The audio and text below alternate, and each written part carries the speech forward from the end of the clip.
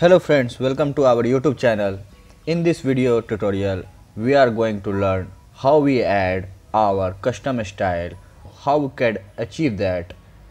In this video, we're gonna learn how we create the style sheets file.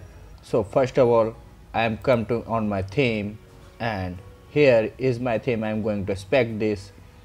So when I spec the top header, it shows me the paragraph and here we can add our classes over the announcement. So i click on this and add a background style which it's let be blue.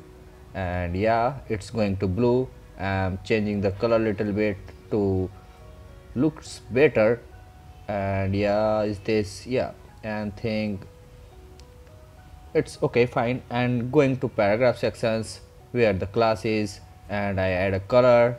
It's about to uh, yeah white font size uh, implement in 30 pixel. Looks great great yeah 22 23 okay I should be implement font weight yeah to look some good yeah 7 700 so here we uh, inspect and I just grab this code CSS and going to our admin panel and dashboard. So here we go. First of all we go to our online store sections. We have to we can uh, backup to download our theme file. So we store the all theme file. Go to edit sections. After the edit section we have to just uh, close this extra tabs and search the theme dot css it should be yeah it's theme.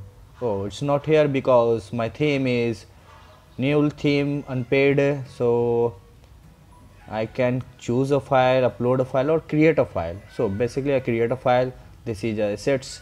So I create a theme.css and yeah I created a file for this.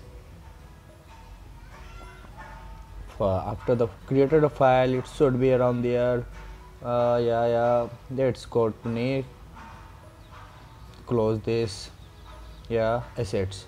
So base.css this provide to our css by shopify theme and here our theme.css so what should we have do? I have to do just call css and you can see your file. It will be there if I inspect this where it come from CSS so this shows the base.css file.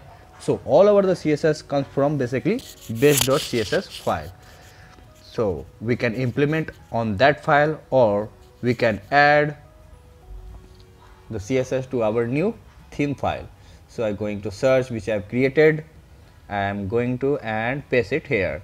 Then the save button and the asset is saved. Go to theme liquid. And here we add our styles file.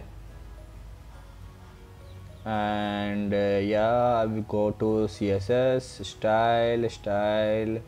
No it would be css or style. Okay just wait hold a second. Yeah here got the base.css file. Is the, the basically structure of the shopify theme which you provide. How you can add your new file. So i am going to add the same this is the asset url which you provide and this is style tag going to change this name. The, my new theme is the theme.css i am going to save it.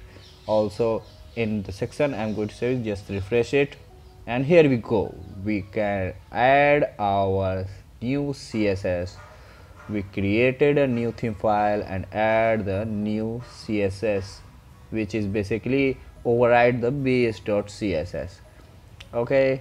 So we can add the css easily method nothing just create or you can implement on that.